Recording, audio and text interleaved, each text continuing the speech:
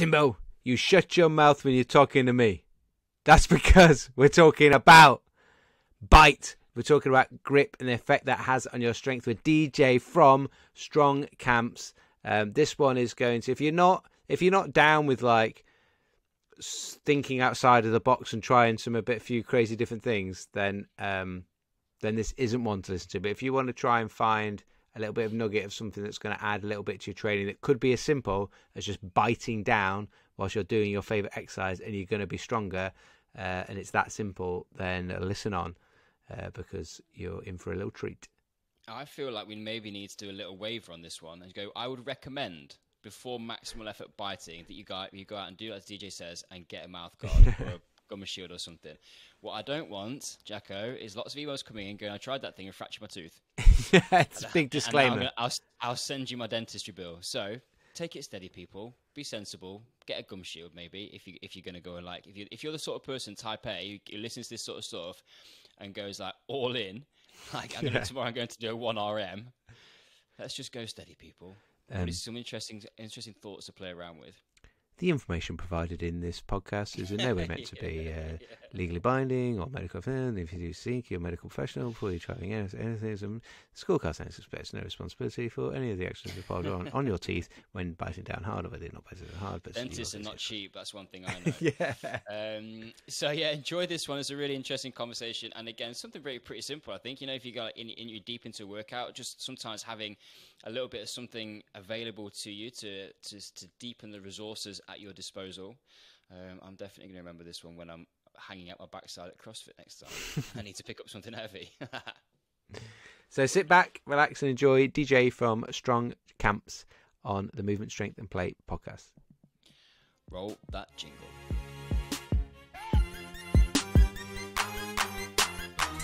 Listen, players. You're listening to the Movement, Strength, and Play podcast by the School of Calisthenics. Here are your hosts, Tim and Jacko. Welcome to the Movement, Strength, and Play podcast. DJ, how are you doing? I'm great. Jacko and Tim, thanks for having me on. No, our pleasure. We're going to give you the people to give you the chance to just sort of introduce yourself a little bit. But I want to just set the scene of like a friend of mine, um, shout out to Sarah Moore, um, on the she'd she'd like tagged me in a post or, or you know sent a post of like, look at this, and there was like you talking about people doing pull ups and then retesting them the following day, I think it was, and there was like biting a resistance band with a kettlebell attached to it or something fairly crazy like that, and um, and then instantly being able to do more um, pull ups, and it was like, what's this about? And we'd come across some stuff um, a couple of years ago from the guys at the National Circus that were talking about like jaw position and tongue position in in strength testing. Um, and I remember watching the World's Strongest Man um, list this last year, and everyone had like a like a gum shield type thing, and that they were biting them, and then they were, they were doing some heavy lifts, and I was like, I was like, Timbo, like, we need to speak to DJ because he's doing some crazy stuff, man. Like, um, and there's there's there's obviously something going on here. Just um, that's me setting the scene for the listeners of where this is coming from. But um, what, where, where is where has this come from for you? You must have an incredible story to like. Wait, you don't just start just picking stuff up with your mouth as the first thing you do in the gym. Like, you must have done a, quite a bit of stuff in the build up to this. Like, give us the background. Oh, I've always. Uh like to use my mouth for things. my mom used to yell at me. But uh, yeah, how I first got kind of interested in it was the old school strongmen. So the um, teeth lifting was a popular feat of strength. So you would um, have a, a strap attached to a dumbbell, some sort of weight, other people, and lift it up off the ground. So that's kind of where I was like, right. oh, cool feat of strength. Uh, also okay. in the Cirque culture, uh, the iron jaw performance is where people would bite onto a strap and they would be hoisted up.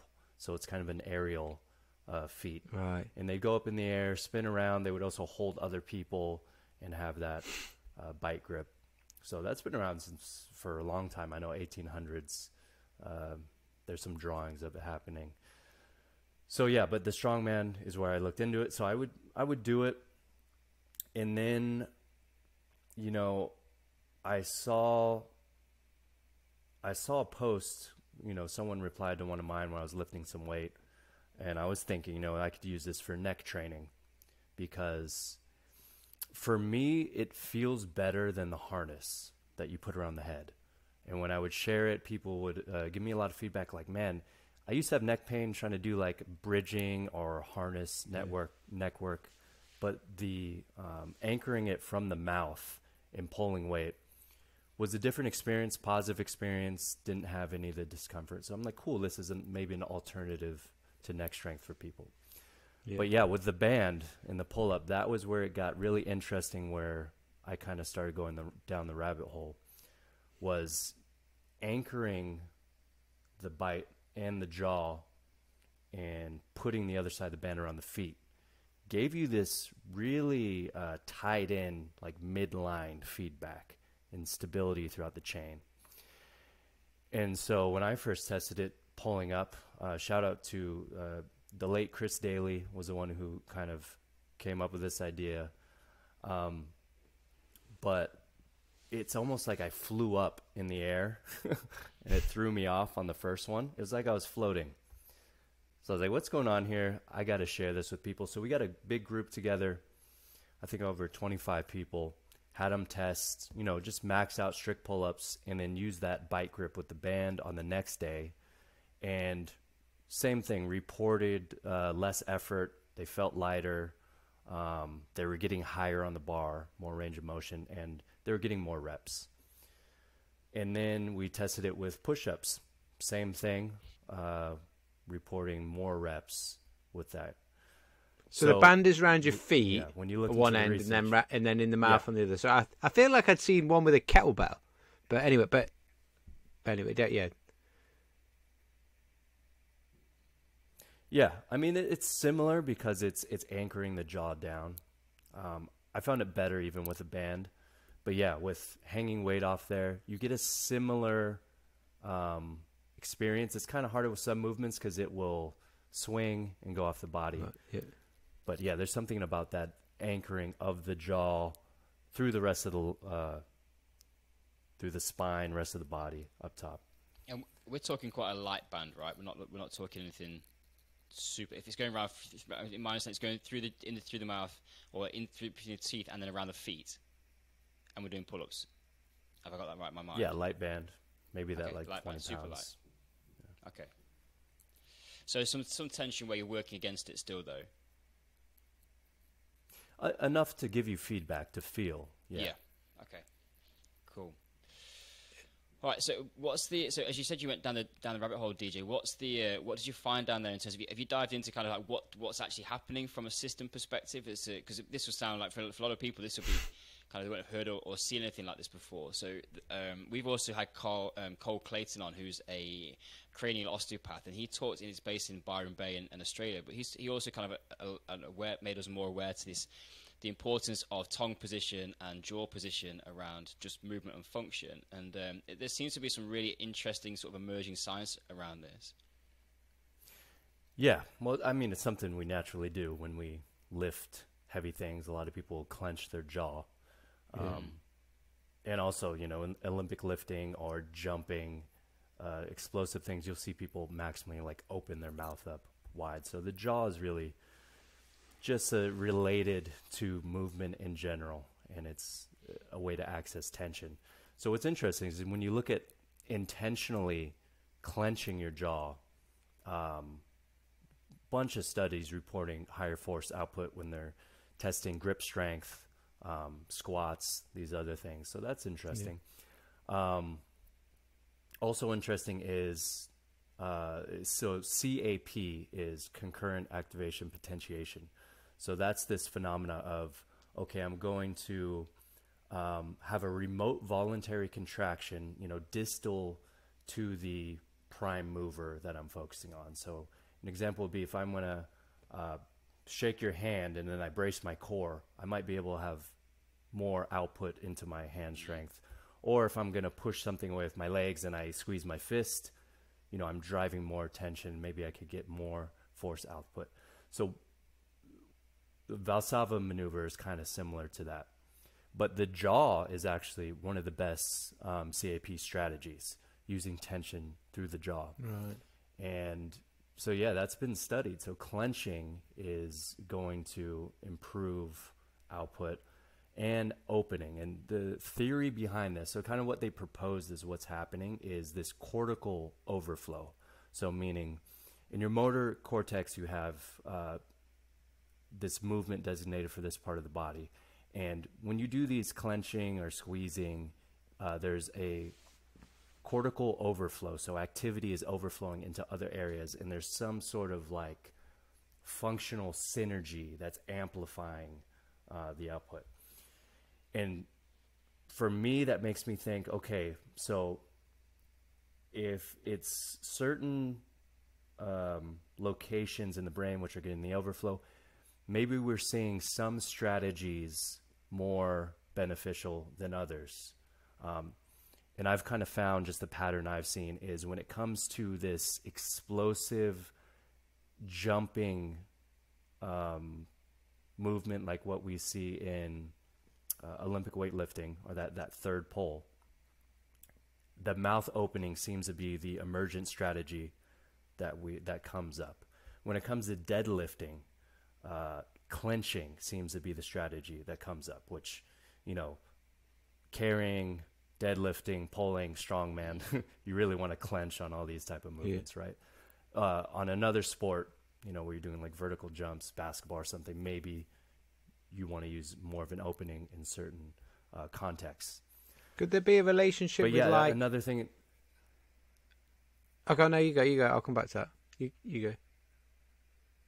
Oh no, go ahead. Go ahead. Um, I was just we've had Doctor Doctor Cobb from Z Health Performance on, um, talking a lot about like neurology and, and how that affects things and the the widening compared to the clenching. I'm just wondering if there's any like flexor flexor extensor tone changes happening where when we're opening the mouth hard out, is it like forcing like um, extension tone potentially more, and that's helping with like a triple extension, and the flexion is more. The, maybe that's helping more with the grip. Because there was some other stuff around, like I remember uh, talking about like uh, aggressively pushing your head forward into your hand, like st- tends to like facilitate flexor tone through the body, and, and pushing strongly back with the neck. So obviously these there's things that are all connected within this, and it's just yeah, I, I just keep finding it more and more fascinating. Is there is there any potential sort of truth in that? Is that something that's come out in theories? I mean, there's no literature on it or studies, but that's what I personally see see it through that lens. Is I'm finding okay. that for how I'm describing it is internal torque, uh, or you could say flexion base. Yeah, is is more for the clenching and that band anchoring, which is tying in that midline, and the opposite, the opening, is going to bias yeah. uh, external torque or extension. So yeah, and that's why I think it's cool, and that's why it differentiates from the idea of like a radiation, which is very like unidimensional, just kind of compress. Is okay. Now we have yeah. different strategies of tension to bias what we intend to do.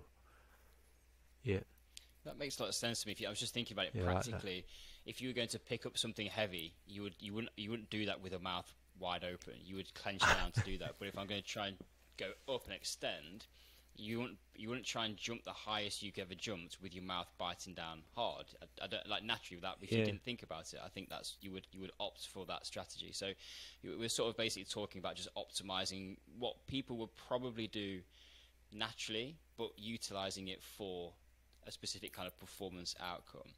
So, what does it look like from a training perspective, DJ? So, there'll be some people in the gym that'll be listening to this and um, they'll be going, right, well, I want to go and sort of like to, to use some of this um, this information.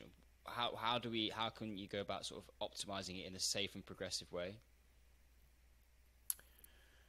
Yeah, so you could try it right away by clenching your teeth, and if you want to be a little more safe about it, you can get a mouthpiece. Um, you'll see a lot of people use like performance mouthpieces, but studies have shown you can just get a cheap boil and bite mouthpiece. it's just about the clenching, which is you're getting the benefit, you know. Um, is there any issues if someone's bite is off? You know, like um, I mean, I've fractured my cheekbone, had a head injury. Like my bite when when I'm in the dentist, the dentist goes, "Bite down." How does that feel? I'm like, it feels crap because my flipping like. Is it? Is there any issues around around that compared to if if someone's nicely um, aligned? Yeah, in the studies, uh, the occlusion. So the two things that are affected is the amount of force you're using and the position of the bite. So yeah, if you have like malocclusion or your bite's off, overbite, underbite, you're gonna have less output in general in strength. Uh, they found. There's so that excuse. one, but yeah, but uh, as far as how do you fix that, it's like that people say like jaw will affect the rest of your posture in your body, but also the posture of your body will affect your jaw. So there's kind of that. Um, we don't know where the causal direction is, but Yeah. you can go to you know they have uh, uh, orofacial like myofunctional dentistry and people who kind of deal with that kind of stuff with hardware and train the bite. There's the mewing crowd who talk about training with the tongue Yes. position. And chew- you know that's yeah, another yeah, cool thing with the band bite that we're seeing is because it's placed over the tongue when you press it up against the roof of the mouth, we're pretty much doing loaded resisted mewing, and you'll fatigue really quick and feel those muscles working. So it's a So you have the way- band. You have the tongue keeping the band up, Yeah. Right? I was just thinking. So I'd we're be adding we're adding the tongue in there, and it's in the perfect Nice. spot. Yeah. So, so give us an example then, DJ, in terms of like exercises that I- I'm trying to visualize what this looks like in the gym in a, in a practical day to day training session. Someone's going to go in, they've got a, a normal strength training set. Um, give us some examples of, of what it might look like. Sure. Once again, something you could do right away if you're doing something I would classify as like internal torque, or, uh, almost any bodybuilding movement. You know, if you're benching dumbbells, folk just focus on clenching your teeth maximally. And mm. once again, if you use a mouthpiece, it's probably a little safer. I'll put a towel in my mouth. You know, do it just to give me some Okay. feedback to press against. But ju- that's it. Just clench As simple as that. maximally. Every set, clench, go, clench, go. Yeah. Easy one right So, there. yeah, uh, if you want to add, old- if you're doing like, sorry, go ahead. Okay, we used to have those old, say, boil and bite mouth guards. That's what we used to play rugby with back in the day. The five, used to be a five pounds, but they're not five pounds anymore. But you, you burn the roof of your mouth because you put it in too fast and you have to stand there and mold it for a bit. Or just get one of those and just pop it in when you. So, and this is maximal strength type work. And would you would you do it for like lower intensity sessions as well? So you say you're doing what hypertrophy reps, you know, eight, ten rep ranges, something like that, or would you? Is it something that typically works better when you're going to go like one to five rep maxes? Yeah. So in the studies, the it works well for uh, maximum uh, effort Yeah. sets. So you also want to use maximum effort clenching. So they showed sub maximal clenching will produce sub maximal results. So Okay, Um, yeah, yeah. But we found that the anchoring the jaw, which is it's about the bite, but it's more about um, the rest of the system. That for longer sets for endurance work. I mean, going like past twenty to thirty reps. Uh, we found that really beneficial using the the band anchoring. Nice. Could you Might as well effectively? get a mouth guard. Could you effectively um, do the banded anchoring um, with any exercise, so long as you can figure out a way to sort of have the band around your foot and, and creating some midline up at tension up until the jaw? Like, if would it, in theory, work on anything? Um, we found it mostly for internal torque, sagittal plane movements. It works the best. So something like that extension bias thing, like explosive ballistic movements, maybe not. Um, It's hard to test because even on the pull-ups, if you bend your knees or or create slack in the band, you're not going to have the same effect. You have to have that stiff, straight body. Um, so maybe I don't know. Maybe we, there's a device you can create and strap around the body that would create the same effect. That would be interesting. Um, but I have a feeling just for the the kind of flexion based movements, uh, it works the best. Yeah. When we had um, Cole Clayson, I, would heard this this phrase, or someone said this a while ago that you could actually sort of potentially question I say all strength training literature historically, because no strength training literature that we base a lot of our reps and sets around um, in our modern day training practices accounted for tongue position, and, and now we could probably throw into the mix bite or, or, or jaw clenching. So the variance in the potential um, performance results of somebody biting down and somebody not biting down potentially would be enough to cause enough variance to potentially suggest that um, the, the, strength training, the do you, know, do you understand what I'm saying? Like the variation, the, the grip that, that biting can cause could actually sort of uh, change the outcomes of the strength performance in that research study. Does that make sense? Is is that significant? Is, yeah. I guess what we are saying. Well, I would say it's been pretty well studied. There's a lot of literature on that, and they, have seen mm. improvement. Um, oh, no, what I mean yeah, is like with, where they haven't accounted for for for uh, for, for, for, for tongue position or for for the jaw clenching. So all oh, that studies right. where they've yeah. never really kind of included that as one of the, the parameters or one of the part of the methodology, you could potentially question the results of that literature review or that study because they haven't accommodated or accounted for this thing, as you said, because it is well studied and also now well proven. Yeah, it'd be interesting to see. I mean, just like I, mean, when you look at any study, you got to look at these are individuals. What's their level? Because I would like to think that just, I mean, these things are going to emerge at high levels, anyways. You know, I, I think uh, professional elite powerlifters, they're doing something with their neck, face, mm. tongue, and jaw, probably unknowingly. That's you know biased toward a, in a, an optimal, more optimal uh, way of doing things. I think it'll just emerge when you um, go to a certain level. But I think it's important to like look at these patterns and say, hey, can we implement them to shorten the learning curve and give them to people so they could access more potential right away. Mm. What do you spend the rest of your time doing, DJ? In terms of where, what's your? I'm interested in the rest of the context of, of your, your work and, and your training and, and coaching endeavors, those sorts of things? Man, yeah. Well, I uh, live in the gym pretty much, but mm-hmm. the, my my interests, um, parenting, uh, training people, uh, some some reading, and eating yeah, and sleeping. Sort of, when you talk about training and spending your time in the gym, what sort of who do you train? Are you, are you in a specific area around powerlifting or or, or uh, different sort of type of training within that? Yeah, so uh, I guess so. Most of my clients are online clients, and these are a lot of trainers, um, a lot of like I guess uh, unconventional trainers, probably.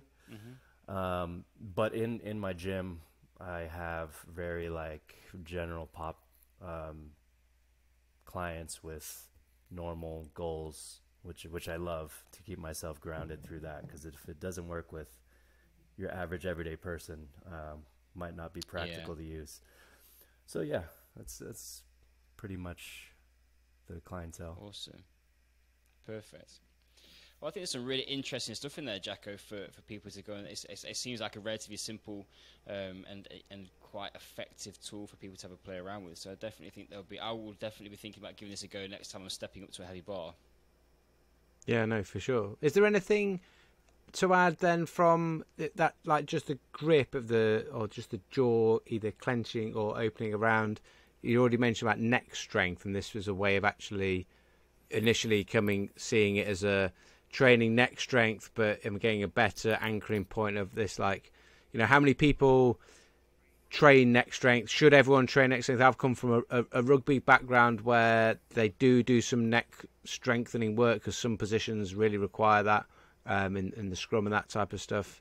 Um, it's never something I've really um, looked at, but probably personally quite interested in that. When I, I, had a head injury that was sort of ended my career, when there was like a whiplashing in that and, and uh, a whiplashing effect, and so like probably would benefit would have benefited back then and maybe would benefit now from from, from some neck strengthening work and I'm wondering about is that something you know, is that something actually everyone would benefit from having a stronger neck because they can hold that better posture you were talking about? Um, does the spine feel more stable? Like, what's what's sort, or is it just something you think is relevant for only a certain type of person, like a powerlifter or something that that's requiring that extra sort of support? Well, I think it's a it's a part of our bodies, and I like every part of it to be uh, strong as possible. And speaking of whiplash, I mean, after whiplash, a lot of cervical strength goes down, and there's a lot of um, fear avoidance in the neck, especially. So I think yep. if this is something that people can do and access without discomfort, then yeah, I th- I think people will be amazed at how getting just the neck, cervical region um, stronger kind of carries over to a lot more other things. And with that bite, anchor, and grip, just the angles, like if you do it with a cable or band, you could set up really nice resistance profiles uh, doing it like that instead of just pulling down with a harness.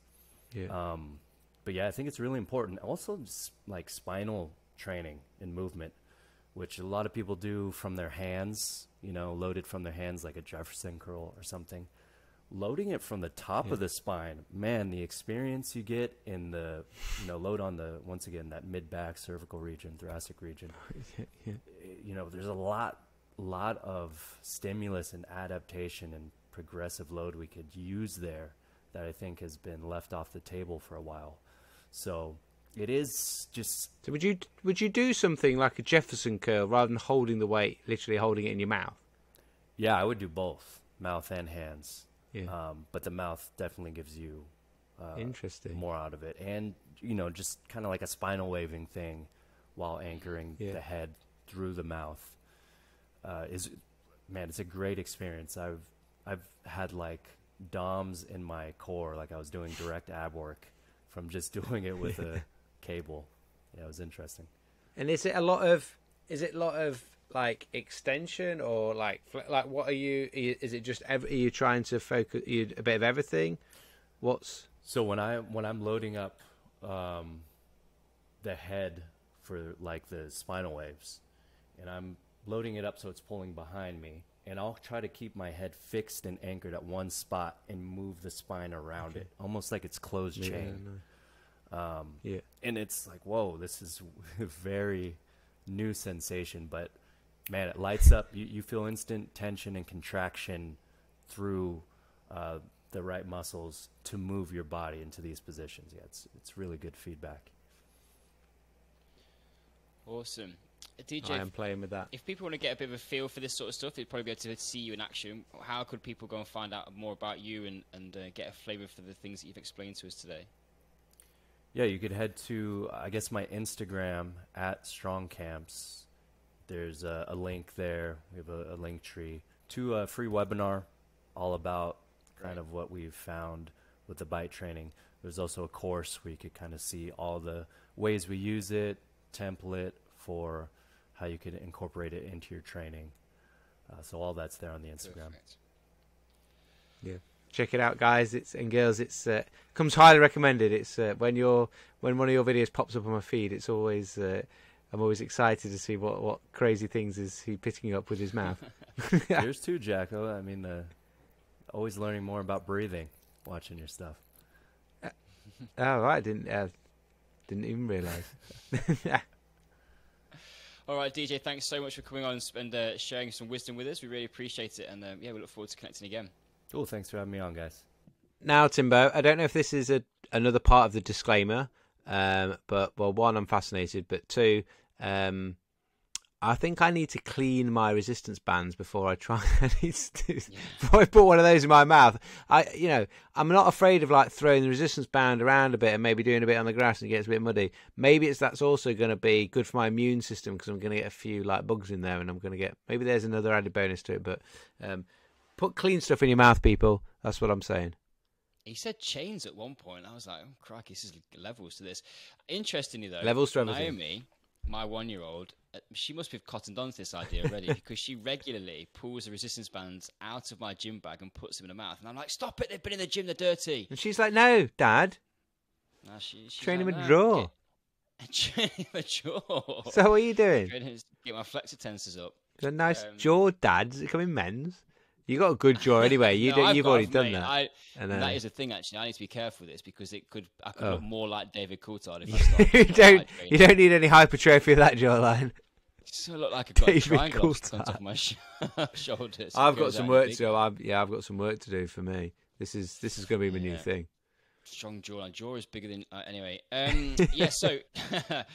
Go, let us know how you get on this one. Interesting one to go and play around with. And yeah, we hope you enjoyed it. Again, divergence in our conversations, bringing you some people doing some interesting things at the frontier of movement, strength, and play.